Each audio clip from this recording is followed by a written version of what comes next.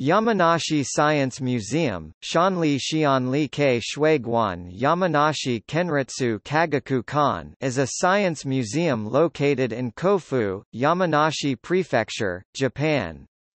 The museum specializes in astronomy, and technology.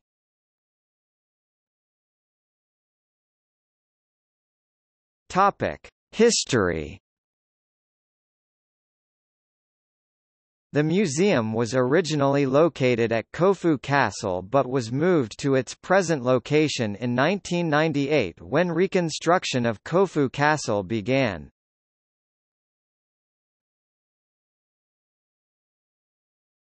Topic: Facilities The museum includes a planetarium, astronomical observatory dome, exhibition room, experience study room, and a library. The museum is located approximately 25 minutes walk from north exit of Kofu Station,